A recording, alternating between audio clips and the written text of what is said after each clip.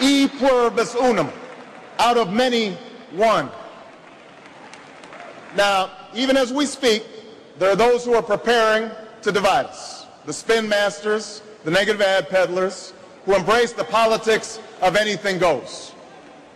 Well, I say to them tonight, there is not a liberal America and a conservative America. There is the United States of America. There is not a black America and a white America and Latino America and Asian America. There's the United States of America.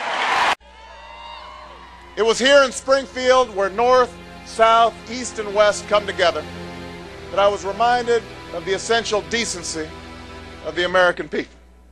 Where I came to believe that through this decency, we can build a more hopeful America. And that is why, in the shadow of the old state capitol, where Lincoln once called on a house divided to stand together, where common hopes and common dreams still live, I stand before you today to announce my candidacy for President of the United States of America.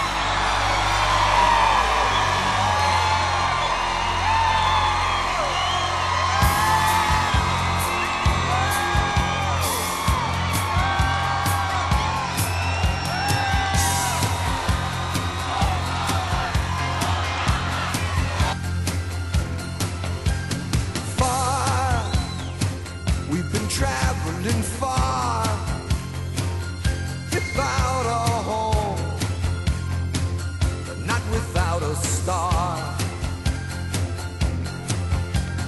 Free, It was a creed written into the founding documents that declared the destiny of the nation. Yes, we can.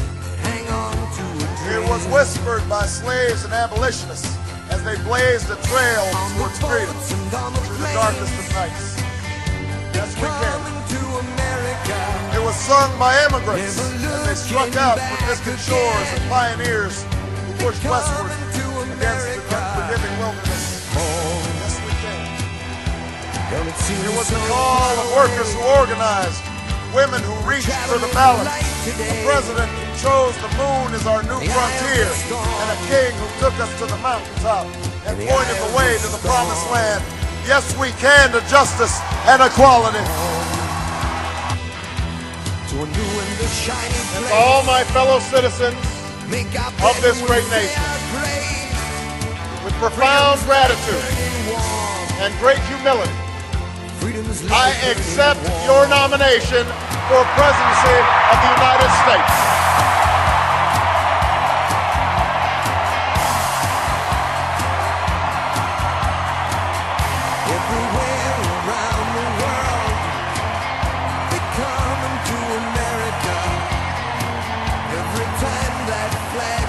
Take a look at this. We project that uh, Senator Obama will carry the state of Massachusetts, Connecticut, New Jersey, Maryland, Illinois, the District of Columbia. Delaware, Joe Biden's home state. New Hampshire goes to Obama. As uh, New Hampshire goes, so goes Maine. CBS now estimates because of victories in California, Washington, Oregon, and Hawaii. CBS projects that Senator Barack Obama of Illinois will be the next president of the United States. It is now 11 o'clock on the East Coast, and Keith, we can report history. Barack Obama is projected to be the next president of the United States of America.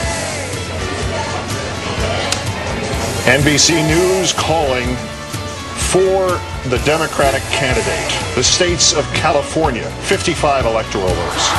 Washington, 11 electoral votes. Oregon, 7 electoral votes. And Hawaii, 4 electoral votes. Listen to the crowd at Grant Park in Chicago. Are you prepared to take the oath, Senator? I am.